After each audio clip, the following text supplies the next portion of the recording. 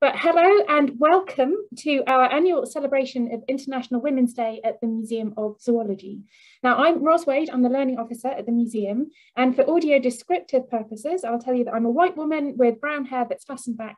I'm sitting in my living room, so you might be able to see some of my houseplants and pictures on the walls behind me. Now, this year we have a panel of four amazing female scientists from the Department of Zoology here in Cambridge, all exploring themes of animal evolution. Each will be giving a short talk about their research and inspiration. After they've all spoken, we'll have time to put your questions to them in our um, live panel discussion. So do make sure you put your questions either in the Q&A or the chat um, here on Zoom. Now, just to make you aware, we are recording this evening's event and it will be available on YouTube um, later this week for anybody who's unable to attend this evening. So just check out, keep an eye on our social media for information of when that goes live. So now to the exciting part of today's event, our brilliant, brilliant panelists that we've got lined up for you today. So first up and giving a talk, we have uh, Dr. Emily Mitchell, who is a NERC Independent Research Fellow in the Department of Zoology. And she'll be taking us back in time to help us to understand early animal evolution. She'll be followed by Dr. Kate Criswell, who's a research associate and Charles and Catherine Darwin Research Fellow, who works in the museum with us. And um, she works on the evolution and development of the vertebrate axial skeleton. So we're looking at things like the backbone and associated structures there. Then Dr. Elia Benito Gutierrez, Senior Research Associate in the department, will be talking about the origins of complex features of the vertebrate head, and that's using one of my favourite animals, Amphioxus. So I'm looking forward to hearing more about that. And we'll finish the talks with a presentation from Dr. Rahia Mashoodh, who's a BBSRC uh, Future Leaders Fellow, um, uncovering aspects of the process of evolution as well.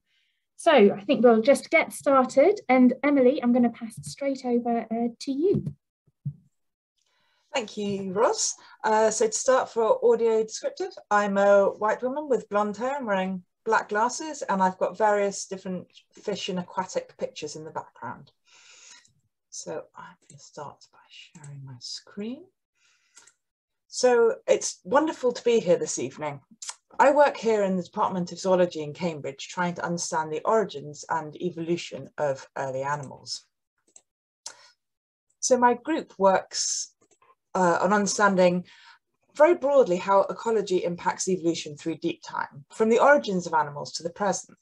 So this work includes looking at things like arthropod evolution um, uh, uh, in the Cambrian time period, around 520 million years ago, as well as looking at modern day Antarctica, investigating how ecosystems are likely to adapt to climate change.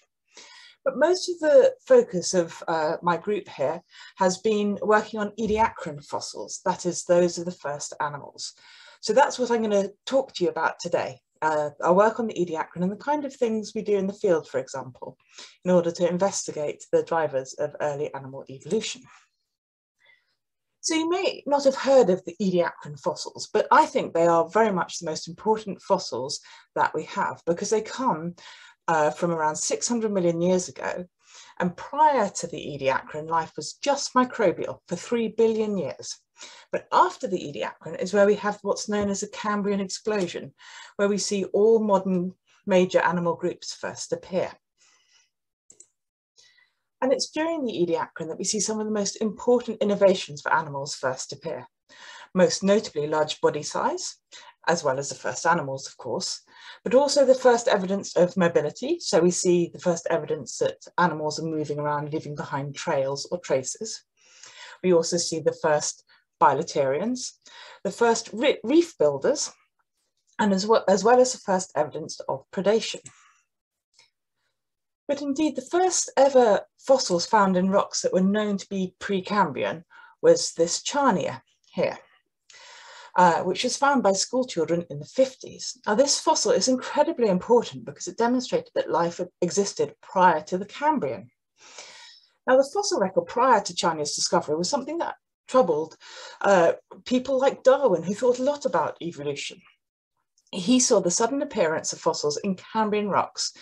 However, if his ideas of natural selection were correct, then animal life shouldn't suddenly appear. It should have a gradual build-up. And these Ediacaran fossils do exactly that. So most of the oldest of the ediacaran organisms are taxa, such as Charnia, which belongs to a group of organisms called rangeomorphs. Now these rangeomorphs are very, very strange. They, uh, they have this fractal style branching, that, that is they have branches that have branches that have branches, sometimes down to five different levels. But this makes them really hard to study because while they look superficially like plants, we know because they're found in rocks that were formed in very deep water, they didn't have any daylight. So we know that they couldn't have been photosynthetic like seaweeds or algae. And indeed, their body plans are so unique that it's only found here in the Ediacaran, not elsewhere in the fossil record and not alive today. So as a result, it's not clear for a very long time what they were. And they were so problematic, pretty much every group has been suggested. So microbial colonies, giant protists, lichens, fungi, and even a now extinct kingdom. Life got big and complex, but ultimately failed and died out, paving the way for animals to rise in the Cambrian. However, we know now due to recent work looking at how these ediacaran organisms grow, as well as chemical fossils, we know that they were indeed some of the first animals to have ever existed. So how do you go about investigating these ediacaran animals when the body plans are so different to everything else? Well, fortunately, the fossil preservation is really exceptional. So here we've got some ediacaran organisms. You can see they were stuck to the seafloor, then they have these stems that put them up in the water column, and they fed on the small little plankton in the water using this bit here. And each of these fossil surfaces here at Mistaken Point have thousands upon thousands of these ediacaran creatures captured by volcanic ash. So it was rather like Pompeii. Everything was alive and happy, then suddenly this big volcanic ash flow comes underwater where they lived and killed everything instantaneously as it was living. But this means that we now have a, essentially a census, an entire population of these ediacaran organisms um, available to us as fossils. So if we can map them out, then it means we can then analyze them and have a perfect replication of the ecosystem at the time. But how do we go about creating these maps? So when the light is good on the fossil surface, you can see the fossils in amazing detail. But most of the time on the coast of Newfoundland where they're found, uh, the, the weather isn't that, that good. It's quite foggy. And indeed, when it's foggy and wet, it's very hard to see the fossils. So, uh, it, well, indeed, the worst field season that I ever had, we only had two and a half hours of decent light in the entire month that we were there. So an alternative approach is needed. And so what me and my team have been doing over the last seven years is using this laser scanner. And this uh, goes over the rocks. It doesn't hurt the fossils in any way, which is very important because they are protected. Um, and it's very important not to damage them. But what we do is we pass this laser scanner over the fossils. And if you look closely, you should be able to see a blue light appear. And this is the laser. And as it passes over the fossil, what you do is you get a three-dimensional surface captured on the computer. And this captures incredible amounts of details. So here we have the fossil. The yellow squares here are one centimeter squares. We can see the holdfast where it was attached to the seafloor, the stem which put it up in the water column, and then we can see the frond from which it fed with its primary branches and its secondary branches. And this captures the fossil details down to a 40 micron resolution. So that's under half, um, well, it, it's, it's well under half a, a millimeter or a tenth of a millimeter. But this scanning takes time. So here we are at Mistaken Point E surface, which is one of the most famous of the Ediacaran fossil sites. And here we have a time-lapse video of us laser scanning the fossil surface. So this takes about an hour to do one meter squared. So it takes quite a long time to do. Um, the idea is that you can see the, um, the mechanical arm, which helps uh, get the accuracy that we need, and then the laser itself. Um, uh, but all this time that it takes to run this is well worth it because what it means is we've captured all of the oldest of these Ediacaran fossil communities that are known. Um, and so uh, we can then bring all this digital data back to Cambridge and analyze it. So here are some of the surfaces that we've got. So bed B is from Charnwood and all the rest are from Newfoundland. And each little dot represents a fossil. Different colours represent different species and the size of the circle corresponds to the height of the water column. And we can see here that there's lots of variety. Some surfaces are covered just by one species, while others have a lot of different species. We also can see different sizes. So Charnwood Forest has some very, very big fossils, 60, 70 centimetres, while others, such as Spaniard's Bay, only have really small fossils, a centimetre or two big. But what it means is because we have these wonderful snapshots of Ediacaran life, we can use mathematical and ecological approaches that normally wouldn't be appropriate to the fossil record and use them to understand what's going on. So of particular use to us has been using um, spatial methods. So the idea is that for every specimen, such as tree, you mark up where it is and you have leave behind a point map and different sorts of biological and ecological processes correspond to different patterns. So for example, for these deep sea corals, you can see they're very, very spaced out. And the reason they're spaced out is they're very food restricted. So they need a certain amount of space around them in order to survive, because otherwise they won't get enough food. So if two corals are too close together, there's not enough food for both of them, so one will die. And this leads to the spacing out of the corals or the points. So to give you an example, I'm going to talk to you about my favourite Ediacaran species, which is Fractofusus. You can see some down here, and they lay flat on the seafloor. They have this strange rangeomorph fractal branching. One of the reasons I love it is because there are so many of them. There is uh, well over 8,000 Fractofusus that I've mapped out um, across three different surfaces in Newfoundland. And because it is so abundant and found on several different surfaces, it means we can do some really fun statistical analyses with it. And so what we found when we looked at three different species is we had um, in the first um, surface, you can see this aggregation here, which corresponds to about uh, clusters of 10 centimeters. And the shape of this observed spatial pattern line is the sort that you find when you have a reproductive event. The Fractofusus were creating offspring or babies. And we know it, it's clusters that were um, caused by dispersal or reproduction because of the shape of this line here. And we can see here that these, the shape of the observed lines are different.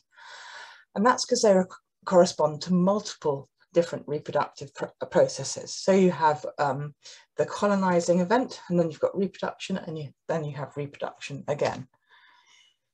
So in modern uh, um, seafloor animals, uh, you, there are three different ways that they can reproduce. They can reproduce by breaking off little bits of themselves. They can uh, reproduce by uh, releasing their spores into the water, or they can reproduce using stolon or runners, rather like strawberry or spider plants. Now, in all the 8,000 odd Fractofusus I mar marked up, there are very few of these fragments or buds. So we know that can't be the main way they're reproducing. So the question then becomes, were they reproducing like corals were spawning, or were they reproducing like spider or cluster plants? And what's really cool is you can look at the shape of the clusters you see. Because if something has been released into the water, it's going to be carried by the current and that produces oval clusters. And that's what we see with the largest Fractofusus, but not with the medium or the small ones, which means we can re uh, uh, reconstruct how they reproduce. They start off with the colonizing from the water, then they reproduce using these stolon or runners. And these are clones of the parents. They can reproduce again and again. But what's really nice is since this paper was first published, my colleagues, Alex Liu and Frankie Dunn, have actually found fossil evidence of stolon. And we can see some of the Fractofusus ones there. Um, but it's sometimes quite hard to see. We can see the rangeomorph frond here and the lines coming off here, which are the stolon or runners. So what this is, is this is fossil preserved evidence of the stolon that were originally predicted by the maths. And that to me is probably the most exciting thing about this particular set of studies, is that they demonstrate the power of statistics and maths to help understand these really first early animals. And so I will finish off now with thanking all my many, many wonderful collaborators and field assistants that have helped me work throughout the years. Thank you.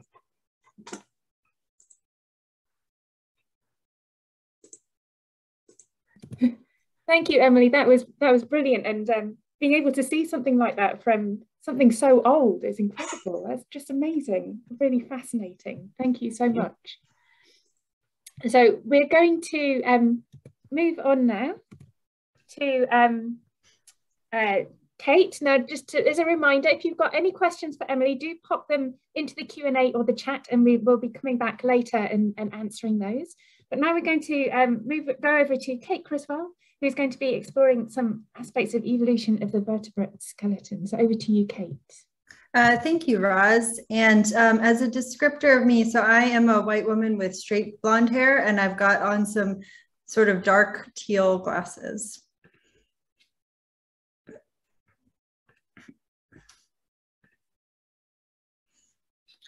Okay, so um, for my research, I am interested in how vertebrates build their backbones. So basically, for all of the diversity that we have in vertebrate life, um, we have a lot of really interesting shapes, sizes, and numbers of vertebrae. And um, I study how we arrived at that amazing diversity, both using sort of a deep time evolutionary and paleontological approach and a developmental approach where I look at embryos. And most of this is focused on fishes, both bony fishes and cartilaginous fishes.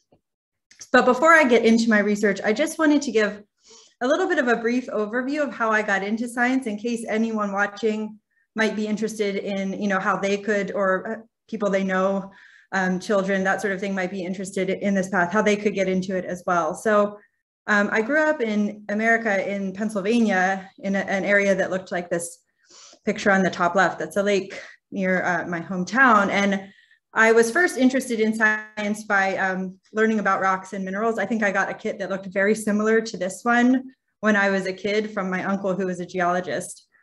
And you dig out the rocks from this matrix, you clean them up and you identify them. And this became the basis of my rock collection, which I still have, of course. Um, and so I sort of got really into uh, geology and paleontology as a kid, and I would go looking for fossils and rocks at outcrops near my house. I'd find things like trilobites and brachiopods. And this is a much, much older, excuse me, older picture of me, um, but still, like Emily, still um, looking for, for fossils and rocks. And then just a bit about my career trajectory, um, sort of the path I took through university to get where I am today. First, I did a Bachelor of Science degree in Earth Sciences. Um, there I am on some more outcrops. Uh, and then I was able to do an internship at the Academy of Natural Sciences. This is a natural history museum in Philadelphia, where I studied a bunch of baby fossil fish that were preserved in, in Pennsylvania rocks. And this is kind of when I knew I wanted to be a scientist and look at bones for uh, my career. Uh, I then moved to Texas to do a master's in paleontology, and I learned a lot more about skeletons of all sorts of vertebrates here. Then for my PhD, I moved to Chicago, and this is kind of when I was first exposed to developmental biology. And I learned that you could answer similar types of evolutionary questions using both fossils and skeletons, as well as embryos and development. And so now, and for the past five years, I've been able to work in this amazing building. This is our Museum of Zoology. And um, that's where I am now. And I'll tell you a, a bit more about what I do here. So I mentioned before, I'm interested in how fishes build their backbones. And I'm just highlighting here a few examples of some fish backbones from, uh, these are CT scan reconstructions of different fish from our museum collections. And you can see that um, they have really different numbers of, of vertebrae from this hatfish, hatchet fish here to this uh, moray eel down at the bottom. They have really different shapes of vertebrae and sizes. And um, so I'm just really interested overall in learning how this diversity came to be both through evolution and through development. Um, so when I look at development of the backbone fishes, I mostly study these guys here. So these are skates, and they're, uh, they're part of this group of cartilaginous fishes. So they're close relatives of sharks and stingrays. And uh, it's really important to study cartilaginous fishes because they make up this one major branch of the vertebrate evolutionary tree. And on the other side, we have all the ones with bony skeletons. So all the bony fishes, all of the birds, mammals, reptiles, that sort of thing. So by looking at cartilaginous fishes, we can sort of compare them with bony fishes and kind of understand what was going on in those earliest vertebrates at the very earliest branches of the tree of life. Um, so yeah, this is a skate here, a little hatchling, and skates are pretty good animals for studying development because they lay eggs, unlike most sharks and stingrays. So here are some egg cases I have in my hand on the left. And uh, they develop a bit like a chicken where they have one big egg with a yolk inside and a, a sort of clear jelly layer that's a lot like an egg white. And there's one embryo on that yolk that uses that yolk up as they grow. And uh, around the beaches in the UK and uh, in a lot of other places as well, you can find these empty egg cases that have washed up after the, the little baby skates have hatched out. So here's what a very young skate embryo looks like. It's got a head right here. Uh, they start to wiggle as soon as they're able to. Here the tail is extending out. Here's the yolk outside of the egg. They have these big external gills that they then resorb back in. And here's one with its big fins that have fused up at the top. They take about five months from when the eggs are laid to when these little baby skates hatch out. And then when they hatch out, they look pretty much like miniature little adults. Um, they're very sweet and they're really fun to work with. So to look inside the eggs and study the, the development, we can use torches to shine them underneath. So uh, a couple movies on the left here showing uh, the embryos inside. We can use the torches to help stage them, to, so to figure out sort of how far along they are in development. And you can identify little bits of anatomy like the, the fin buds beginning to form or those external gills. And on the right, there's a picture showing a little bit older skate. You can see the eyes, these dark patches here, those big fins connecting all the way to the, the tip of the snout and a curly Q tail. And then it's sitting on top of this big yolk here. And so I want to talk about a few experiments and techniques I use to study um, fish uh, backbone development and, and anatomy. And these include things like using fluorescent dyes to track embryonic cells to their eventual location in the skeleton, um, clearing and staining the skeleton to see what the anatomy looks like inside. And then in the museum here, we do a lot of CT scanning to study uh, skeletons without having to damage the, the specimens themselves. So to use these fluorescent dyes, I take a, a really tiny needle. You can see here in this left image, and it's filled with this pink dye that fluoresces really bright pink under a certain uh, wavelength of light. And I've cut open an egg case here and you can see the little embryo and I'm holding it with forceps. If you look down the microscope, it would look like this. You can see my forceps underneath. And I'm interested in these little blocks of tissue here. Those are what go on to form the individual vertebrae that make up the backbone.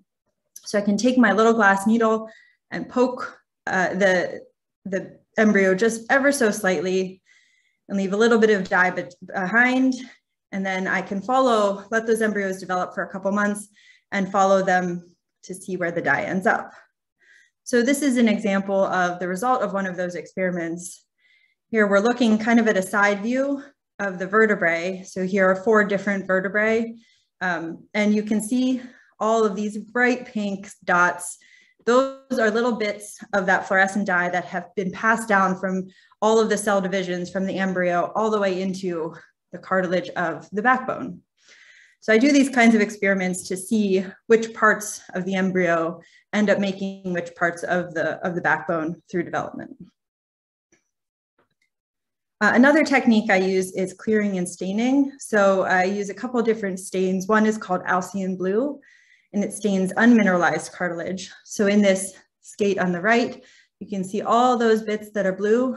That's cartilage that's still kind of wobbly. So like your ear, cartilage in your ear, that's unmineralized. It's still very sort of pliable. And alizarin red is this red stain here, and that stains bone and mineralized cartilage. So this is cartilage that has a lot of calcium in it. It's very hard and robust and not very bendy.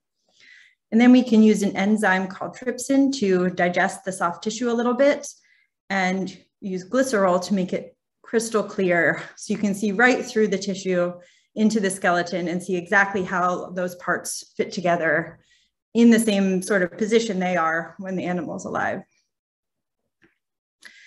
And then finally, I wanted to mention a little bit about CT scanning. So in our department here, we have a CT scanner and it works a lot like a medical CT scanner, but it provides really high resolution images. So I can take jars from our, our uh, museum collections, so our storeroom, and pick out some fish that I think will be really interesting, have very interesting backbones, like this eel here, or these pipefish over here, or this frogfish. And the way the CT scanner works is we have an X-ray source and it shines the X-rays through a specimen to a detector on the other side. So the specimen in the middle, it rotates ever so slightly between each set of X-rays and uh, an image is captured at each of these steps. And then we can put all of these X-ray images together to reconstruct the anatomy. So I'll show you one uh, example using a mud skipper. This is called uh, Periophthalmus. They're cute little fish that come out onto the mud and sort of flop around hunting. And this is what the results of the scans look like. So you have a set of slices. Here we're going from the head all the way through from the head to the tail through the fish. And you can see the skull here. And there will be some fins on either side and fins down below. And here the vertebrae in the middle. So we're sort of going through the vertebrae one by one uh, as we go through the body. And uh, we get these sorts of uh, sets of slices that look like this. They look like cross sections through the body of the fish. And um, they're a little bit difficult to interpret, but we can re reconstruct them in three dimensions. So here's what the fish would look like uh, sort of from the outside, looking at the skin. And then we can take the skin off digitally and view the skeleton underneath. So the CT scanning allows us to look at uh, the, the skeletons of all these different fishes while keeping these really old historical specimens we have in the museum completely intact for other people to study. So I use this combination of CT scanning and development in, uh, in skate embryos mostly uh, to, to sort of put everything together to figure out how diverse the backbone is, what the backbone looks like across all these fishes, and, and sort of compare the development uh, and see how the embryo gives rise to the skeletal structure that we see in these fish. And I just want to end um, also by acknowledging and thanking some of my amazing female colleagues, uh, lots of women I've had in as lab lab mates and sort of mentors and, and collaborators over the years. Thank you for listening and um, thank you, Ros, for having me. Mm -hmm. Oh, thank you. Thank you, Kate. That's um that was really, really interesting and uh, such beautiful images as well. Those baby skates are, are very, very cute. They're lovely. it must be great to work with those. So thank you so much. And again, if you have any questions for Kate, please do um, pop them into uh, the chat or into the Q&A as well. Um, and we're going to be moving on now to um, a talk from Elia Benito Gutierrez about um, still on the theme of vertebrates and their um, evolution. So I'm going to pass over to Elia now. Okay. Hmm. Can you see my presentation? Yeah, thank you very much, Rose. Uh, so for descriptive uh, purposes, I'm a white female with brown hair and very thick um, black glasses. And um, I just wanted to start uh, as uh, similar uh, to Kate saying what it motivated me. As many of you, I actually grew up inspired by David Attenborough uh, documentaries. And this is actually part of the trailer announcing Life of Our Planet that we can see in, in Netflix now. And um, just, just a second. Can you see? Can you see my? Oh, okay. Yeah. And, uh, and I still now continue to be amazed by the vast, vast diversity of animal forms and their capabilities to do extraordinary things. Um, and here what you can see is the migration of uh, fishes, um, the uh, amazing capabilities of organization of insects, uh, migrations, and uh, hunting capacities uh, of um, these all these animals. And even more fascinating is the thought uh, that was pioneered by Charles Darwin and that we are all related. We all descend from a common ancestor. And this is what Charles Darwin published in 19, uh, 1859 in this book, The Origin of Species, where a book that actually uh, change uh, uh, completely change the world really and the society that we live in. And this is actually how we see the world today. This is a beautiful phylogenetic tree representing all animal life on earth from a beautiful book uh, um, welcome to the museum animalium written by katie scott and jenny broom that i invite you to read especially if you have young children the take home message here is that we are all evolutionary related and linked through these uh, different nodes. You can see in the tree to uh, common ancestors and rooted in at the, at the base of the tree by a common ancestor that actually gave rise to all uh, animals. Um, probably during a period that uh, Emily actually explained uh, before. And so one of the main questions that has driven my entire career and that of others that work with me is how this extraordinary diversity of animal forms appears in evolution and how it develops this uh, morphological diversity and how this uh, is maintained. And this is what we are investigating um, in, in, in my lab. In, in the lab, we particularly focus on uh, this side of, uh, of the tree where you can see represented all chordates on Earth, including animals with a backbone um, uh, um, that you have heard from Kate, all animals with a vertebrate column. And we are basically under, uh, interested in understanding how um, chordates were originated and how they diversify into all these animals that you can see here through evolution. And this is probably, um, so the first chordates probably up, uh, appear in the Cambrian explosion as, um, as um, Emily just told you. And lots of things have happened during uh, all this time, right? So on the left, um, what you can see is, is a summary of some of uh, these um, events that happen through evolution. And the first of all is how the vertebrates appear. They appear through a revolutionary modification of the pre-existing body plan. And that uh, in, uh, in this case included the formation of uh, notochord, chorda dorsalis, which is what gives a name to the entire chordate phylum. And, um, and, and, and this modification of the body plan uh, for the first time also includes a dorsal neural tube and a brain that is located in the dorsal side of the body, unlike in, in, uh, in insects in the Drosophila, for example, and the fruit fly that is located in the ventral side, right? So the apparition of the vertebrate column uh, as you have heard, is basically marking the origin of vertebrates. And it occurs through a very um, um, in, in, interesting transition that is the invertebrate to vertebrate transition that many labs are actually uh, trying to understand. And and then um, going uh, through this uh, branch here of evolution, we know now that there has been whole genome duplication events that directly or indirectly have contributed to, um, to the apparition of um, predatory um, characters, for example, such as jaws uh, and person's organs, and also um, other morphological innovations such as wings, uh, that we can see in birds and fins and other uh, specializations that you can see here that allowed vertebrates to conquer land, water, and air. And to understand how this happened, to understand the molecular and cellular basis of all these morphological innovations, we use Amphioxus as a model system. Is this little animal located here is unique in its kind.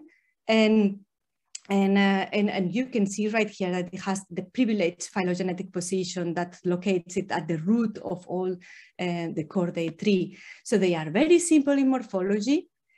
And we can actually consider them like a minimalistic version of a vertebrate. And that's why it's so interesting to study because you are able to study the complexity of a vertebrate into in a, in a, in a, in a context that is simpler.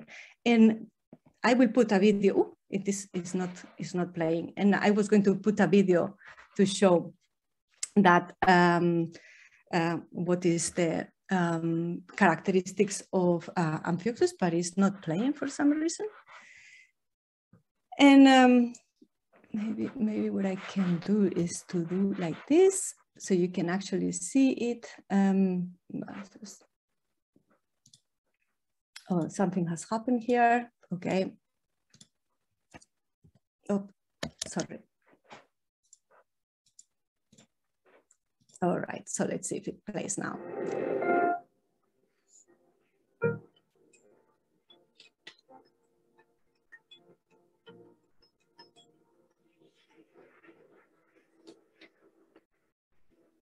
Amphioxus has a nerve cord which relays commands from the brain.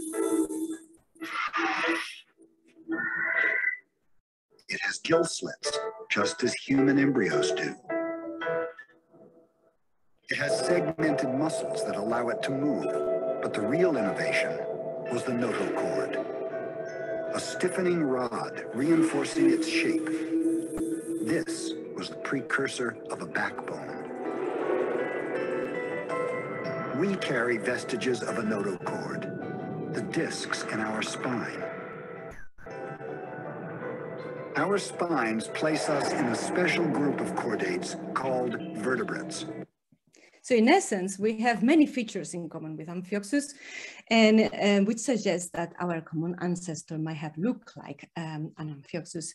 We have currently um, three living genera of Amphioxus. Only the Branchiostoma one has been thoroughly studied, and we know, um, and, and, and these are actually depicted in this uh, picture here. These are Branchiostoma lanceolatum from the Mediterranean, and after sequencing three, uh, uh, three genomes uh, from three different Branchiostoma species, we have come to the realization that the Amphioxus genome is one of the best preserved in chordates. The cartoon here illustrates um, how chunks of Amphioxus chromosomes, so these are Amphioxus chromosomes, can be recognized in our own chromosomes. And here what you can see is the correspondent uh, chromosomal regions, uh, color code in the same color in the human genome. So the Amphioxus genome is very similar in structure and content, but is devoid of the, of the genetic redundancy that was generated through vertebrate evolution um, through whole genome duplications. Amphioxus has also a vertebrate-like development and anatomy. As you can see here, they develop like vertebrates. Um, uh, and they have uh, many of the features uh, that uh, we can see in vertebrates. And they are uncommon uh, as a model organism in that they are long-lived, they live a long time, here you can see they have a very complex life cycle, life cycle, including a very long planktonic phase. And the adults live in, in the seafloor. It takes them one year to, to, to become uh, young adults and three years to become sexually mature. And in the seafloor is where all our work starts. This is one of our trips to the field in the Maldive Islands, where we not only collect amphioxus to bring them to the lab, but we also collect the gravel. So you can see here a piece of seafloor that we bring into the lab with the, all the animals that live and all the entire community to basically integrate in our ma ma marine microcosmos you can see here. This consists of a system of natural seawater constantly flowing that mimics seasonal fluctuations and consists of a system of tanks interconnected, as you can see, in a two-tier configuration that allow us to have in one tier the Amphioxus and in the other all the animals that live with them in their natural habitat. We also cultivate the, the uh, phytoplankton, as you can see here, to basically feed the entire community. And like this, we have achieved uh, a microcosmos in the lab where not only Amphioxus thrive, but also other animals. And you can see here all our residents, other of our residents like crabs, uh, starfish, we have also anemonas, and we have in, um, um, we have been lucky enough to have animals that are very, very difficult to cultivate, like sea squirts here, um, which have never been um, uh, raised in the lab. And our system is actually um, allowing them to um, breed and propagate in our system. And this is how we have managed to have an inland benthic ecosystem that we can actually use for research in the lab. And this has completely changed the way we work. We are no longer limited by the availability of Amphioxus in Amphioxus embryos in the lab, as we were 10 years ago. And so we can actually perform now a number of procedures. We can have, uh, we can actually do surgery on them. You can actually see here how well they recover and how happy they are in the system. We can um, um, visualize the development in vivo with the animal alive in the microscope, and we can actually do drug screenings um, um of many sorts and see, for example, the effects of human activity on, on, on, on planktonic larvae. We can also study the behavior of adults. And here what you can see is some behavioral assays that we have for embryos. So these are little embryos uh, responding to the light. These are a little bit older embryos also responding differently to the, to the light. And, and here we can actually see what development does in terms of acquiring sensitivity for the environment and how development uh, in normal and perturbed condition affect the relation of the embryo towards the environment. And just to give you a sense of how is our life in the lab, this is the very hectic period in the lab uh, when we have um, uh, the Amphioxus breeding season. It's a very intense period of the year um, where we make our animals to breed. Uh, we especially cultivate um, um, plankton for them because they are really, really tiny. And we spend most of the time in, uh, of our time in the microscope, as you can see here. The embryos are extremely small and you can only see them through the microscope. They are extremely transparent, as you will see in a moment. And we basically spend our time taking care of these gorgeous embryos. As you can see here, there is a little bit of algae in their guts, so they actually happily eat all this uh, phytoplankton that we grow for them, and they are shiny as diamonds in water. We love them. And this has allowed us to, in the recent years, to develop a new array of approaches and methods to understand cell fate specification uh, at a multi-scale level in Amphioxus, with particularly emphasis, of course, on evolution, evolutionary conserved cell types that are key to morphological innovation. On the right here, what you can see is Toby, Giacomo, Dan, and Michael have been key to uh, this success, uh, to this progress, and they have developed pipelines to digitalize uh, embryos, as you can see here. They have basic, we have, we have now protocols for single cell genomics and single cell morphometrics that allow you to visualize gene expression and cell shape changes at a single cell level. And all this we can now integrate in situ um, by spatial profiling all the information we take from here in the context of the embryo um, and combine all these to understand how tissue and organs form and by comparing all this knowledge from Amphioxus with other uh, chordates, specifically with vertebrates, we can also begin to understand how this feature evolved. And this is an example of the digitalization uh, of the pipeline um, of the digitalization pipeline that we use in the lab, and Amphioxus are very small.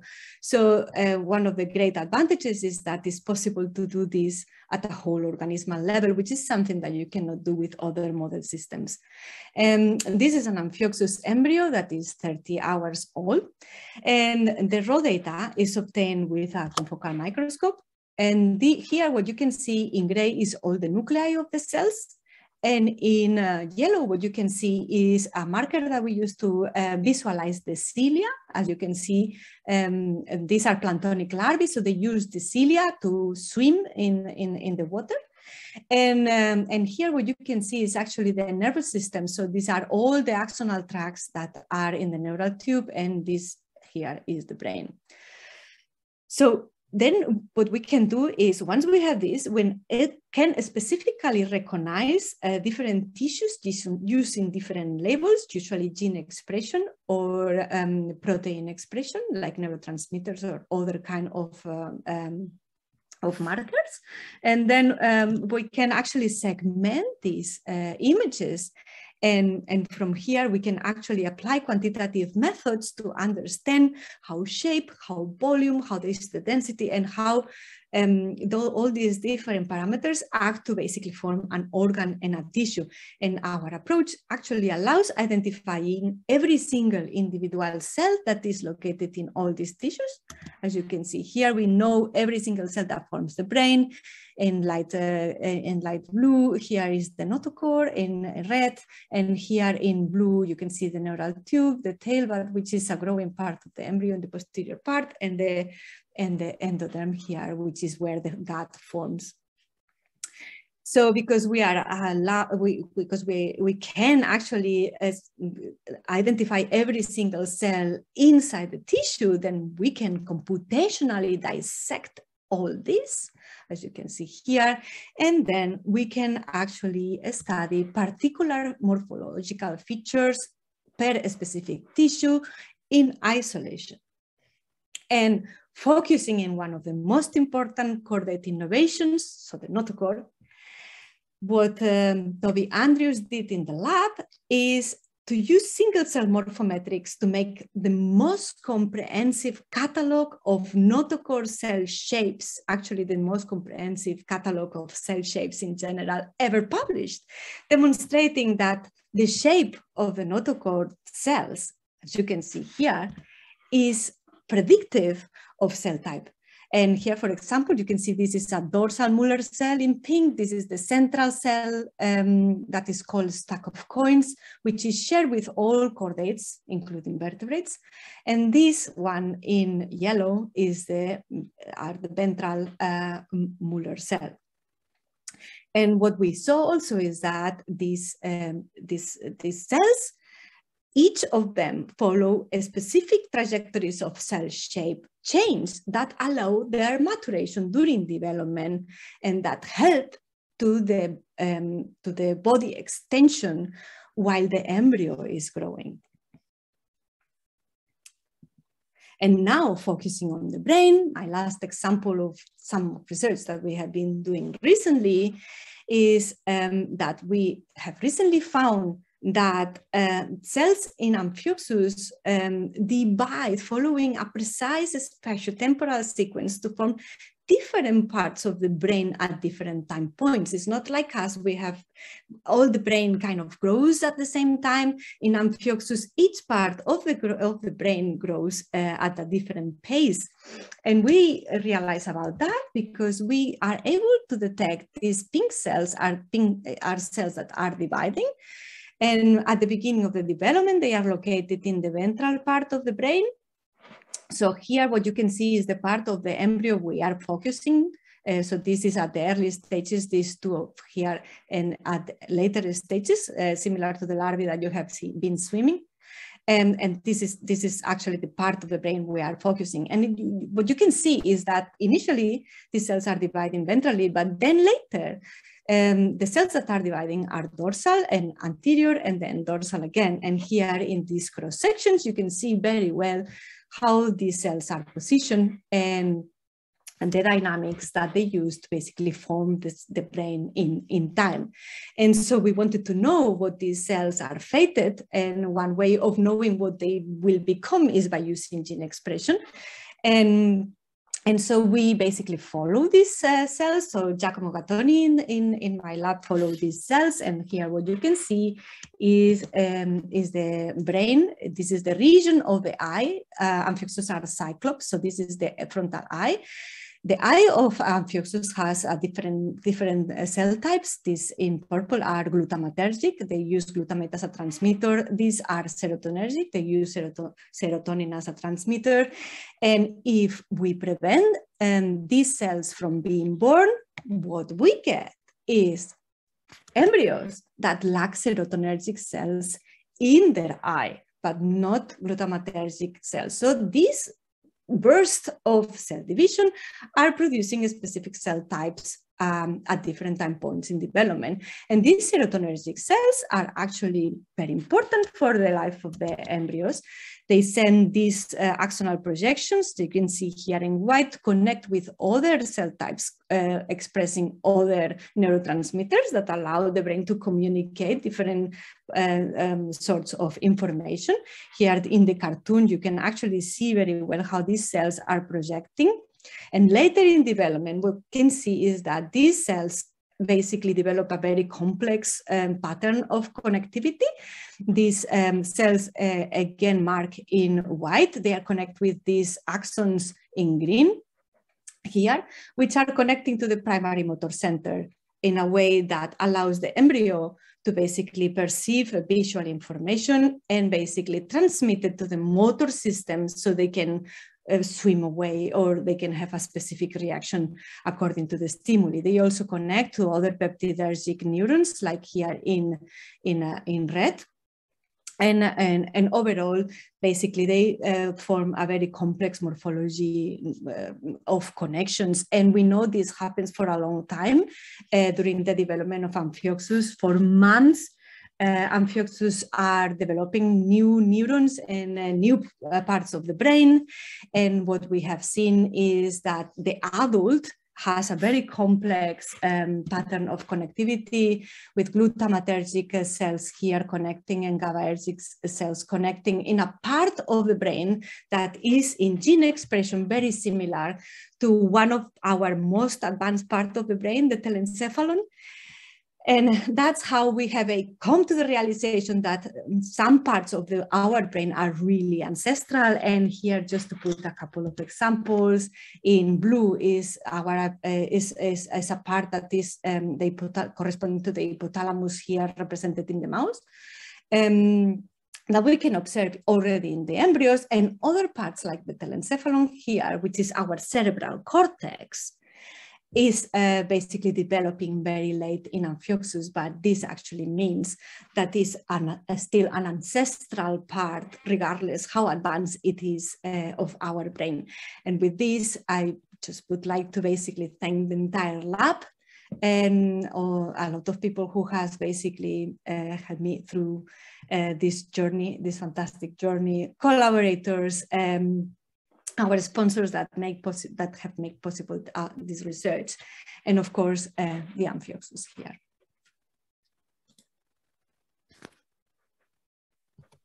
Okay, thank you. Thank you so much, Elia. That was um, really, really interesting. And seeing those similarities between Amphioxus and us was um, really, really interesting too.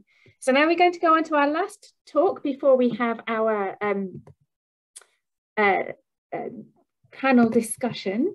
So I'm going to pass over now to Rahia Mashoodh. So Rahia, over to you.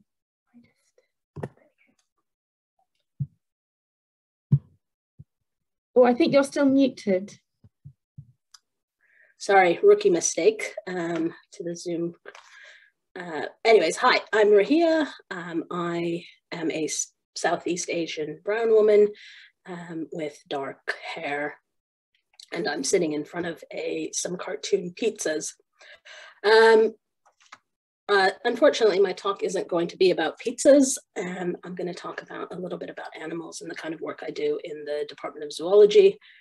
Um, so very broadly speaking, I'm interested uh, in how we inherit the environments of our parents and how this can manifest for multiple generations and even impact the course of our evolution. And this is a concept that is relevant for all members of the animal kingdom, including myself. So my work really draws from genetics, animal behavior, and evolutionary biology to understand the mechanisms whereby you can have um, the experiences of your parents get inherited by you and get transmitted transgenerationally. And there's increasing evidence that heritability isn't that simple. We traditionally think about heritability as about the genes that we inherit from our parents. Um, but take, for example, this like very highly heritable trait of body weight.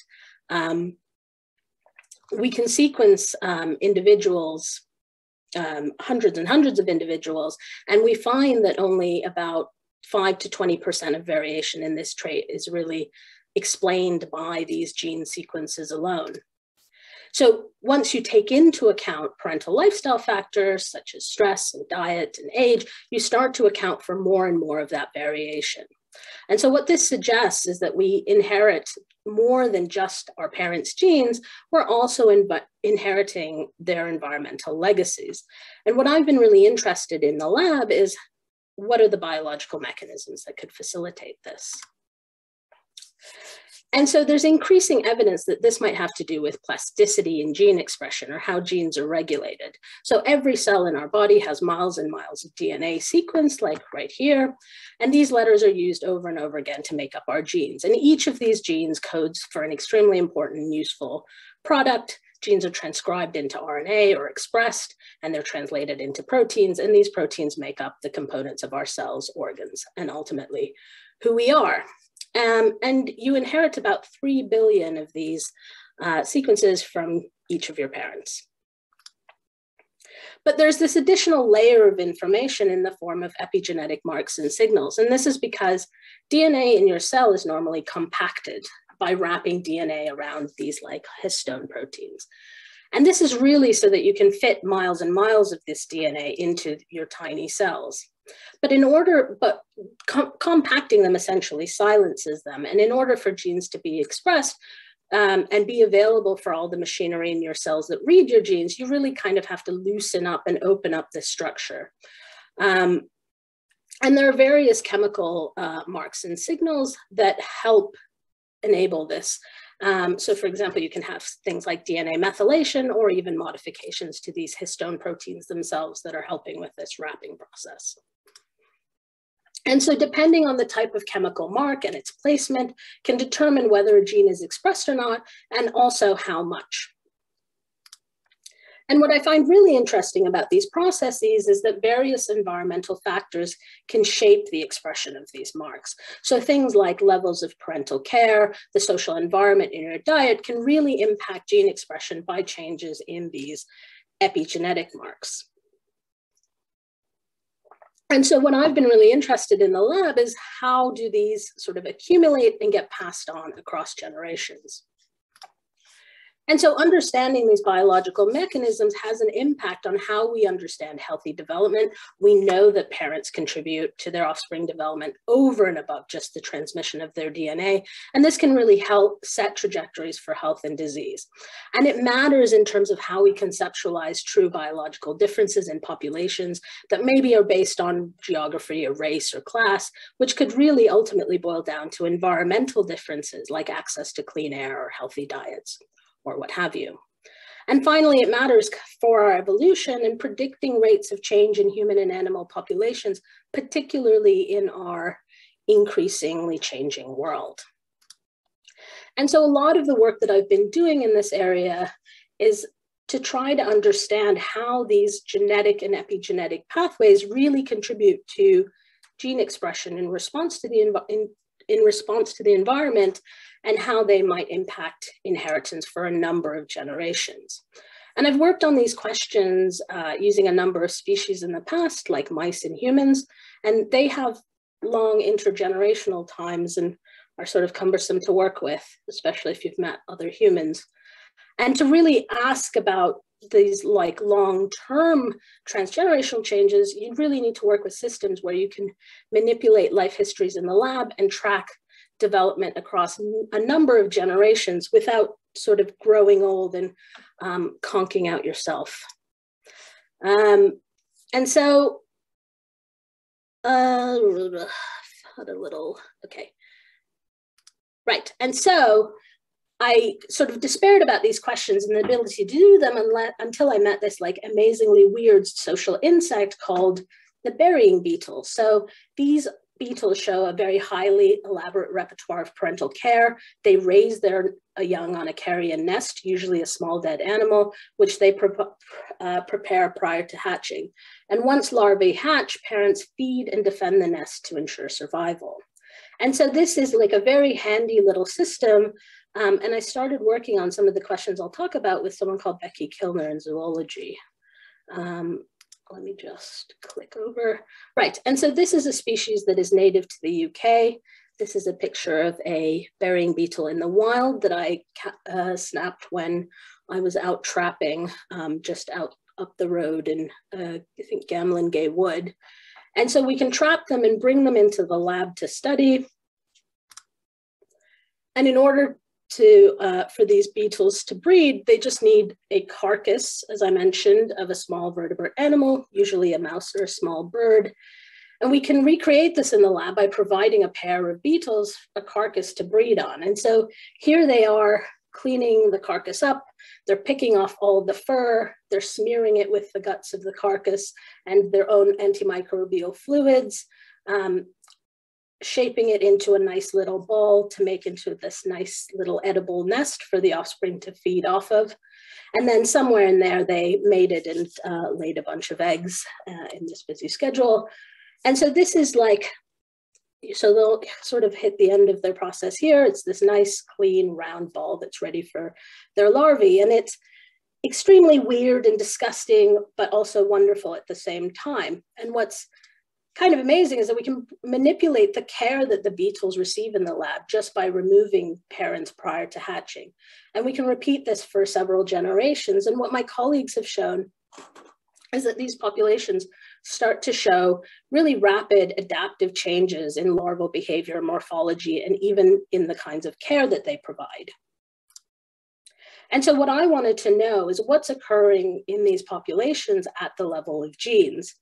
And so I basically sampled from these full care, these populations that had consistently received care or no care and extracted DNA uh, and then basically sequenced their actual sequence, measured epigenetic marks, and also looked at gene expression. And so we can look at gene expression first, and gene expression is really just the output of the underlying genetic and epigenetic processes that are going on. And what we see is that the first time these beetles experience the loss of care, this is like an extremely stressful event for them.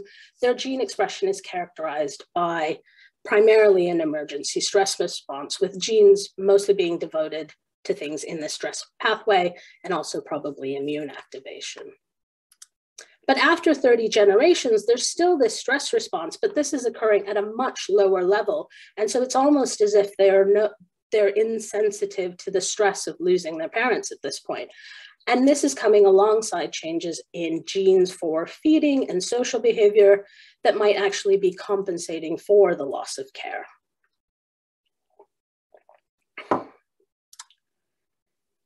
And so what I wanted to ask is, can we measure both genetic and epigenetic change across this uh, adaptive process? And how are those con both contributing to the gene expression that we see? And we can look at genetic, so this is the genetic sequence change um, in these populations. I'm just showing every gene essentially along the genome, and every dot here represents the position of a gene within the genome. And the higher this peak is, the more different the populations are in terms of their actual DNA sequence. Um, and so not surprisingly, we can detect hundreds of these changes, and some of these genes are involved in things like growth and social behavior that I talked earlier, uh, and many of the pathways that I talked about earlier. And so this was interesting. But then we can also look at DNA methylation, and we find that methylation is extremely sensitive to the environment. So the removal of care changes methylation at like a lot of genes, a lot more genes than we see DNA sequence change in. And we find that over time, some of these uh, changes become fixed in the population. So they start to define these two populations. And so this suggested to us that not only is methylation sensitive to the environment, it's also reflecting the ancestral divergence that has occurred between these two populations. And so this is quite exciting to us.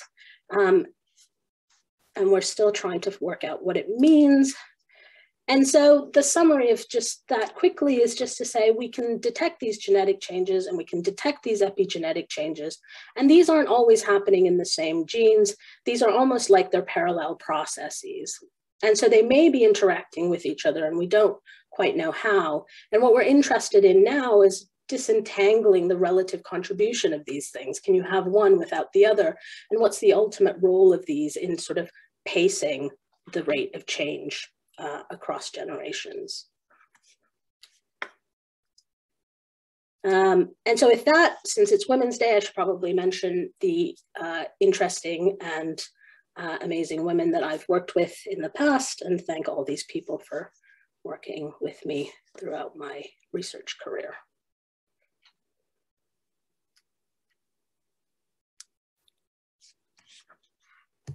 Oh, thank you um, so much. That was really, really interesting. And um, yeah, learning about inheriting more than genes, I think that's probably something quite new to a lot of people. So it's really fascinating to hear about that. Now I'm going to um, pin all of our um, panelists. So hopefully this will work.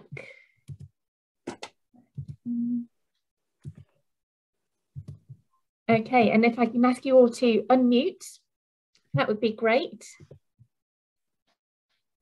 We've had a couple of questions um, come in, so I think we'll start off with those actually. And the first question is from Daisy, asking, how long did it take you to develop your methods? And I think this is something that's relevant to all of you. So I don't know, maybe if we start with Emily, um, go in the order that you gave your talks, how long did it take to sort of work on your methods that you were using? Um, well, I, I very much approached it uh, from a we've got lots of data. What can we do do for it? So the the key thing for me is all the methods were actually really well established in forest ecology. People just hadn't considered applying them in this way to fossils or even animals. But in the last few years, people are increasingly looking at uh, kind of living animals. And indeed, that's some of my work has looked at things like corals and sponges and what's going on there.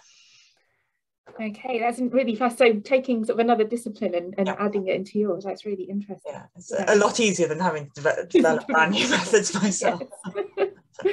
yeah. Kate, what about you? Um, yeah, um, so working with the skates, um, I do a lot of the work with live animals only in the summers. So I go to a marine lab in um, in Massachusetts in the U.S.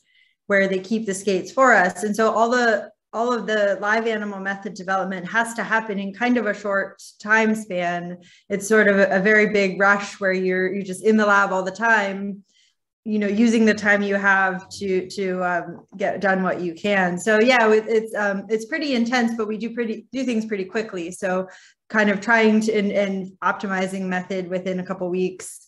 Um, and if it works, you just run with it. yeah, yeah. Okay, and um, Elia, same question to you.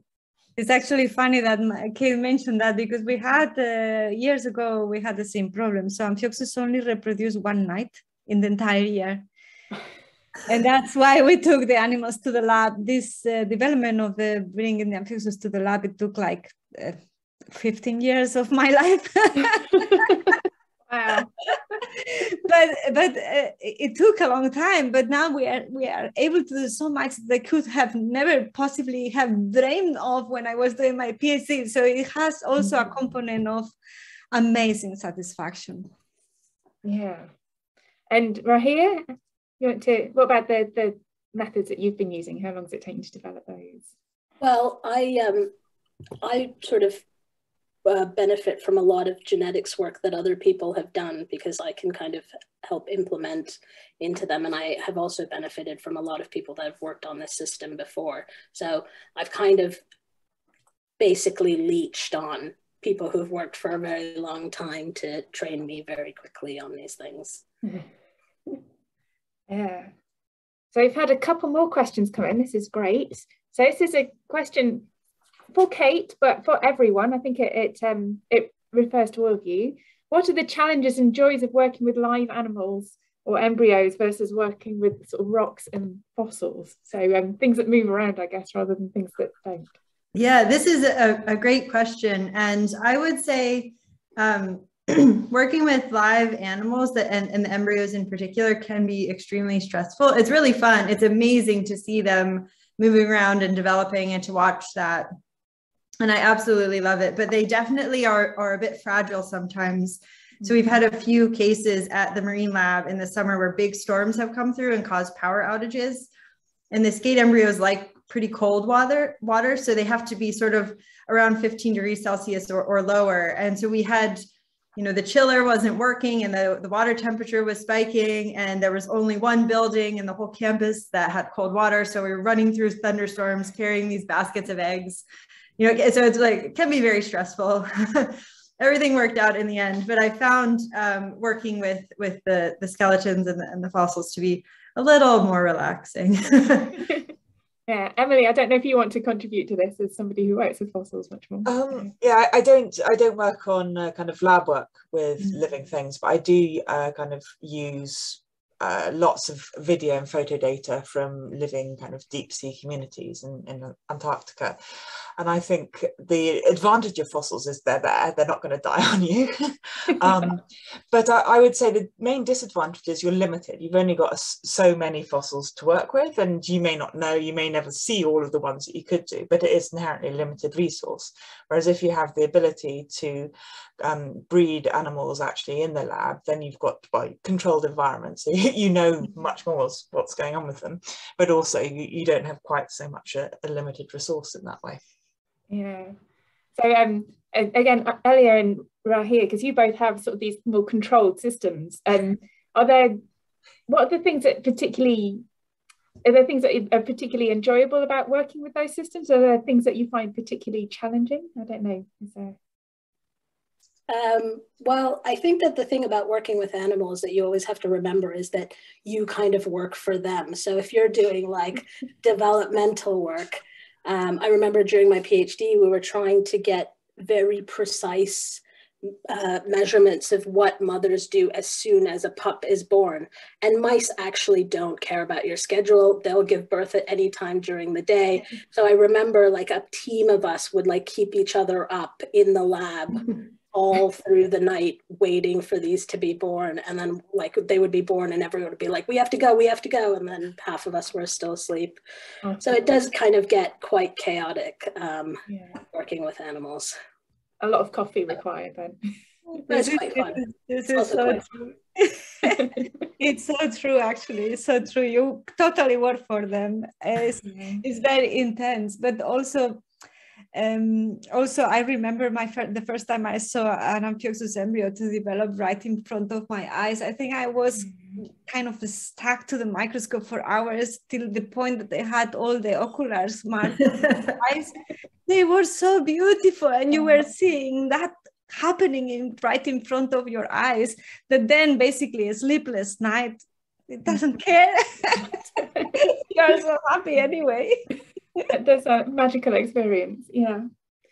So we have a question now from Olivia who asks, when did you know you wanted to study zoology and have you seen any difficulties as women in STEM at all? So um, I don't know, maybe Elia, if you want to, to kick off with that one. Um, so when did I know? Uh, I was very young when I knew that I wanted to do this, uh, but um, specifically to work in Amphioxus, I fell in love with this model system when I saw it the first year in the university.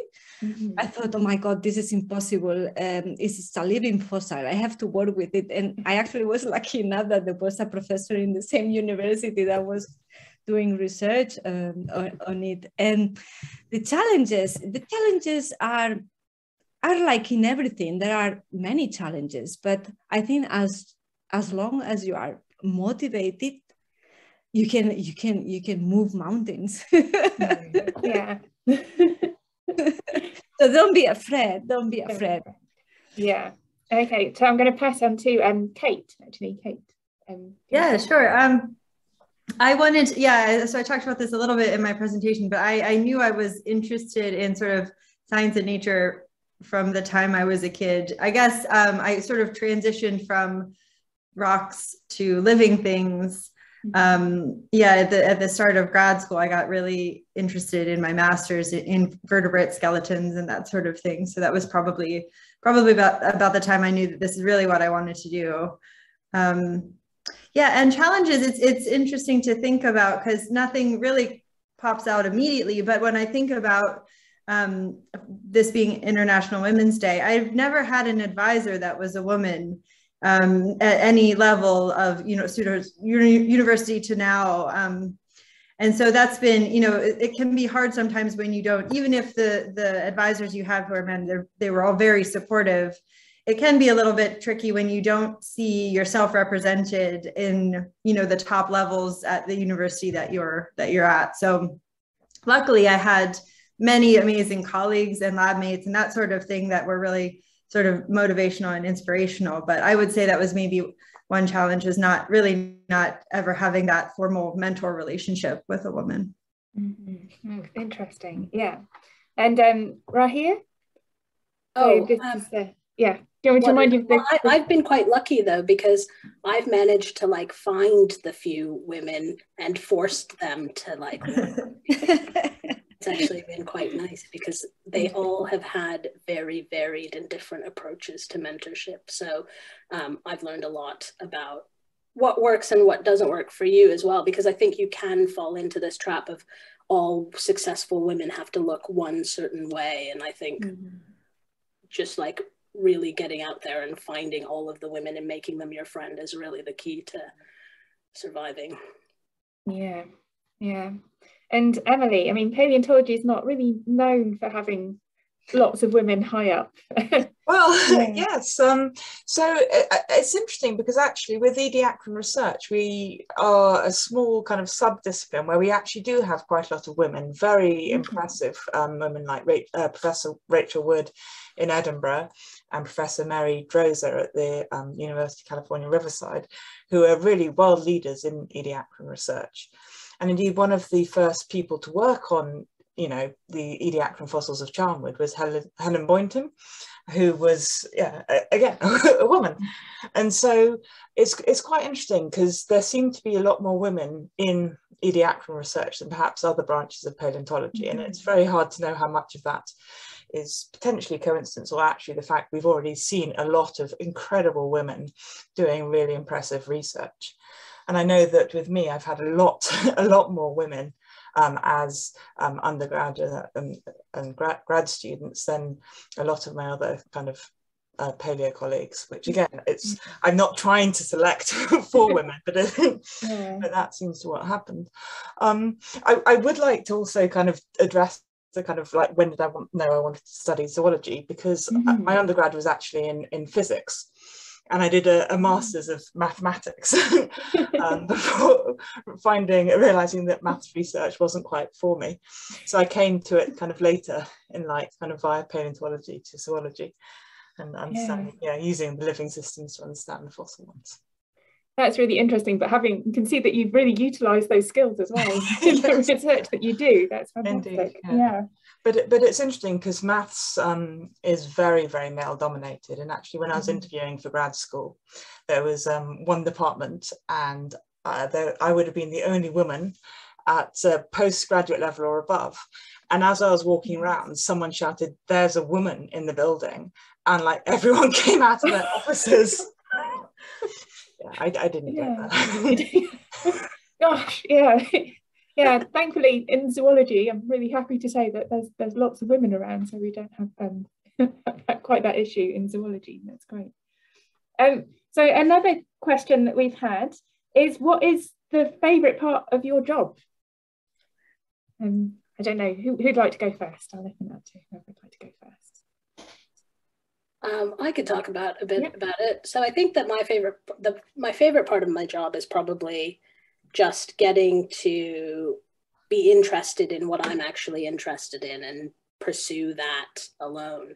Um, and it's like you have the freedom and the flexibility to do it. And so there's no one really telling you what to do on a daily basis um, except yourself. Um, so that is like really part of like the amazing part of being an academic, I think. Mm-hmm yeah being able to follow your your own curiosity yeah that's great yeah anybody else what's your what's your favorite part of your job I, I love being able to do field work. Um, I, I like being able to kind of come up with an idea, um, go in the mm-hmm. field, collect data, come back, analysing, um, analyse data. It's very, very exciting doing all the maths and seeing what your data says for the first time. Yeah. And then and then potentially iterating and then going back and kind of developing uh, your mm-hmm. ideas and your, your data. I think that's that's fantastic. Yeah. yeah. Kate or Elia, I don't know. If, yes, uh, but I, I, but perhaps what I my favorite part of the work is when I see something that was not known before and you cannot see it in front of your eyes and you say my gosh this works like this i would you know and that you have actually been thinking about that being a possibility when when you experiment show it is such an amazing feeling yeah Yeah, I totally agree with that. When you make a discovery and no one else knows it yet, you're the, the first person to know something in the world. It's really a, a magical feeling. And I'll oh. just add, I mean, I just really love looking at fish and skeletons and going through, I, you know, I get to go through the vertebrate stores that we have here and just pick out really weird looking fish. And then I get to see what they look like inside and, you know, figure out how they, how they got that way. And it's, it's just really magical to, to get to look at really weird anatomy and you know see fish develop i love it yeah yeah fantastic yeah i feel very lucky to work in the museum and just surrounded by this amazing stuff all the time um, so just a couple more questions, I think, because we are obviously running over quite a bit, but thank you so much for, for doing this. A couple more questions. One from Hannah Jones. Uh, were your PhDs like a dive in at the deep end, or was it more like a step up from when you were doing your master's or um, undergraduate degrees? Um, so maybe if we start with uh, maybe we start with Elia with this one. Um, I don't know what what it really means. Um, so did it feel like sort of really a big a big change in the way that you were working, a big sort of jumping into the deep end, or was it oh, kind of more gradual and not that dissimilar to doing the masters?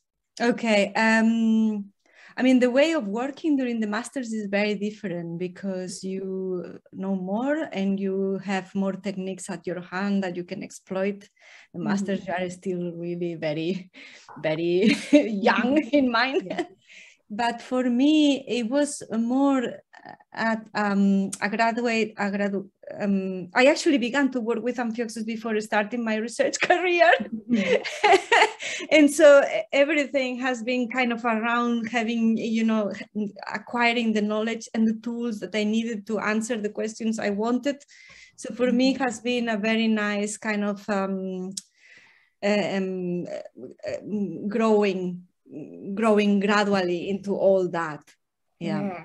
Oh, That's interesting. So I'm going to ask this to, to Kate and Emily now, because you've come from slightly different backgrounds to what you're working on now. I mean, was it, did it feel more of a dive into the deep end when you're coming from physics to going into paleontology, for example? Um, yeah, it was very, very kind of big, um, big jump um, mm. from. So I did a, a, ecology masters actually. So I was kind of used to the biology stuff, but before I started paleontology, but I didn't know any earth science. Mm-hmm. So I had to mm-hmm. learn kind of different sorts of rocks and things. So yeah. that that was definitely a very big jump. Yeah. Luckily, um, very patient colleagues and supervisors who helped yeah. me. yeah. And Kate? Um, yeah, for me, it actually felt a bit a bit more gradual. I think so. I did my master's in the U.S., where they are a little longer than they are mm-hmm. here in the UK. So you do get a couple years to kind of get the hang of things, and so I felt like I got some really good skills during my master's that I didn't sort of struggle as much in my PhD as, as, some others who had, you know, sort of come directly from their undergrad. So yeah, for me, it felt actually a bit more gradual. Okay. And uh, Rahia as well. Did, is it big deep dive into the deep end when you started your PhD? Well, I think like any kind of PhD is a bit of a dive into the deep end because you're basically getting ready to immerse yourself completely into a topic. So I did my PhD in America where I spent six years on like a single topic, uh, right? So, I mean, it did feel that way, but I will say that every supervisor is very different. And so you know, whereas some give you a lot of leeway, some will give you a lot more training and hold your hand a bit more. So it's about the right fit as well for you. So when I got to my PhD, I was kind of left alone with a, some money and some mice, and they were like, you can do whatever you want. And I was like, this is great. I feel like a kid who's been like left home alone. Um, but yeah, so I mean, it worked for me. The strategy worked for me, but um, but at every stage, I would say, like when I moved to my postdoc, it was a steep learning curve because I was trying to learn like a very new skill set. So learning how to do mm-hmm. genomics and bioinformatics, and then when I moved to my fellowship, I was like working with this like animal that was like very different from all the animals that I've ever dealt with before. And so it's like another steep learning curve. And so you are always kind of learning. Yeah. Yeah, I guess that's that's something that's really nice about about doing research though is that it's, it's a constant learning process, isn't it? It's really, yeah. So I'm going to ask one last question. And it's one because it's International Women's Day, um, and I think it's nice to, to highlight the work of women um, as it's International Women's Day, it'd be great to know if there was a woman who particularly inspired you, maybe in childhood or during your career. So I'm happy to start with this one. So I think for me, um, the person who really inspired me was actually my grandma. I was very lucky. Doris Parkin, who worked in the natural history department at the museum in Sheffield and taught me to love the natural world and also that it didn't matter that I was a girl, I could do anything I wanted and be whatever I wanted. So that was somebody who was really inspirational to me um, throughout my early life. So um, I'm going to go around, I'm going to start off with um, Rahia actually. We go around, is there, is there anybody? Well, there's like quite a few actually. Like I've named the, some of them during my talk, and I guess like my mm-hmm. mother would be one of them. She was like the original uh, badass, I think, um, because she just was sort of like a force of nature. Um, but then I've just managed to like work with kind of insanely smart, nice, interesting women throughout my career. So there's just a lot. Too many. That's it's great to have too many to name. Actually, that's a really fantastic thing. yeah, Elia. Uh, I don't know. I'm actually feeling a little bit like uh, uh, like Rahia because um, there's I have so many friends that did my the PhD with with me. I they were so awesome, all very driven women, amazing. I mean, all of them um, made uh, my time during my PhD amazing, an amazing time despite the stresses and everything. And and and we we keep in touch. Um, uh, and it's it's just great talking about science and about everything. And of course my mom has been always my inspiration. she, she is you know she is the kind of person that thinks that nothing is impossible. And um, you know when i was uh, choosing my my degree everybody wants to, you know all the children to go to medicine. And my mom always told me you do study what you want. Then mm-hmm. life will take you where life wants and it, it was a, a, great advice that I actually can, you know, can say to everybody that it was a great advice. Yeah, yeah. And Kate, is there is there anybody who particularly inspired you? Um, I I'm gonna say when I first started my master's, so this is you know the, my first real research and grad school experience. Um, there were three women PhD students in my lab, and they were amazing role models and kind of taught me what you could do um, as a PhD student, and it kind of showed me showed me the ropes. And yeah, like like Ellie said, we still keep in touch. We have a group chat that is active weekly, you know, every week at least. And it's been you know a, a decade since I was in school with them. So. Um, so yeah, those are, I can't pick anyone, but it's been amazing to have a sport network like that that carries on. Yeah, and Emily, um, well, I'm very lucky in that in my kind of subdiscipline, we have a lot of really incredible women, as I mentioned. Um, but I think what one thing that I really appreciate is I've got a very good colleague in um, earth science, Dr. Charlotte Kenchington, and we did our PhDs about the same time and we worked together very closely. And yeah, it's really fantastic to have um, such a wonderful, intelligent person to be working with on, you know, within your field. It's, it's really wonderful. Oh, that's great. I just wanted just like to give a bit of a shout out to all the women out there who are, um, are, just such an inspiration. And thank you to all of you as well, and everybody in our audience, everyone who's taken part today. Thank you, Emily, Kate, Elliot, and Rahia for your talks of just really fascinating. I, I loved listening to them and learning more about your work.